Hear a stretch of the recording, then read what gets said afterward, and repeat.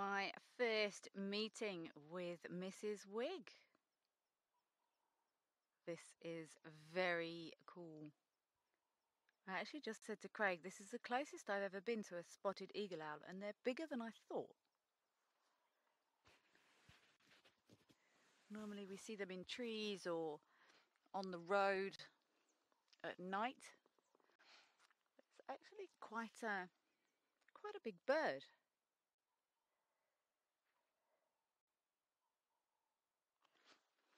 About 47 centimetres, so mm, not huge, but this is easily the closest I've ever been.